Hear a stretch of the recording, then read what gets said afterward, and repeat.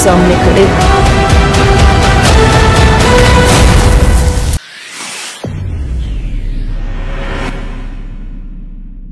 Hello guys नमस्कार channel के स्वागत है। Welcome back to the channel video start करें उससे पहले आपको एक Kannada suspense thriller short film के बारे में बताता हूँ। द ठग इसका जो फ़र्स्ट पार्ट है, वो लास्ट मंथ में रिलीज़ किया गया था और अभी इसका सेकेंड पार्ट का ट्रेलर रिलीज़ कर दिया गया है। सेकेंड पार्ट जो है वो ट्वेल्थ ऑफ़ अगस्त को रिलीज़ हो रही है। तो मेरे एक फ्रेंड ने ही इसको डायरेक्ट किया है। तो बहुत अच्छी फ़िल्म है ये। आपने नहीं देखा तो वीडियो के डिस्क्रिप्शन में मैं फ़र्स्ट पार्ट का लिंक दे दूँगा और सेकेंड पार्ट के ट्रेलर का लिंक दे दूँगा। The thug part one and part two the Tilak YouTube channel पे है।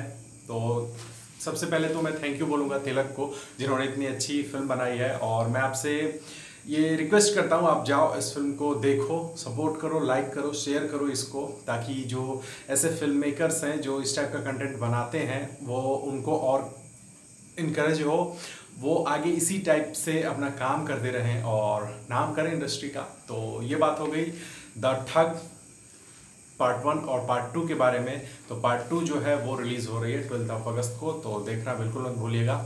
तो अब आते हैं मेन मुद्दे पे। लास्ट वीक में डीसी यूनिवर्स जो फ़िल्में बनाती हैं, उन्होंने एक एनिमेटेड फ़िल्म का ट्रेलर लॉन्च किया। Batman death in a family तो ये एक एनिमेटेड मूवी है। तो इसका जब ट्रेलर देखा मैंने तो म्यूज़िक कहीं ना कहीं सुना सुना सा लगा। ध्यान में आया कहाँ है। उसके बाद से बहुत सारे लोग मैसेज करने लगे कि, सर, आपने ये देखा देखा इसका बैकग्राउंड जो है वो कॉपी किया हुआ है कॉपी किया हुआ है। तो मेरे भी दिमाग में था कि हाँ ये कॉपी तो लग रहा है। फिर मैंने ओरिजिनल ट्रेलर उठाया। बात कर रहा हूँ मैं K G F chapter one के ट्रेलर की। जी हाँ जो बैकग्राउंड स्कोर है उसमें सेम का सेम छापा हुआ है इसमें Batman death in a family में। तो सेम टू सेम है डिट्टो यहाँ पे आप देखो, दोनों आपको सेम लगेगा।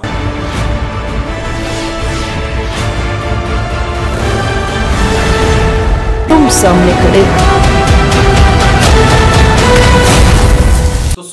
बिल्कुल लग रहा था ना एकदम सेम तो ये कहाँ तक डीसी वालों ने राइट्स खरीदे हैं?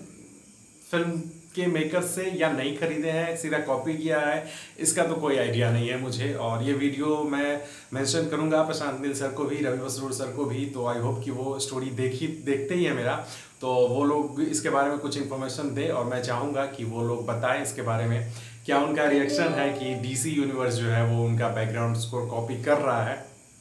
जो भी होगा आपको अपडेट पता चलेगा। लेकिन आप इसका मतलब समझ रहे हो कि अगर कोई हॉलीवुड की फ़िल्म जो है वो भले ही सिनेमा हॉल में रिलीज़ नहीं होगी वो डीवीडी पे रिलीज़ की जा रही है वो जो फ़िल्म है बैटमैन विथ इन फैमिली तो उसको सिनेमा हॉल में भले रिलीज़ नहीं किया जाएगा डिजिटल ही रिलीज़ किया जा रहा है उसको फिर भी अगर उन लोगों तक वो चीज़ पहुँचा है के का चैप्टर का बैकग्राउंड स्कोर उन लोगों ने उससे उसको कॉपी किया है। बिल्कुल कॉपी ही है। इंस्पायर्ड इंस्पायर्ड कुछ नहीं कॉपी है। तो बहुत बड़ी बात है ये।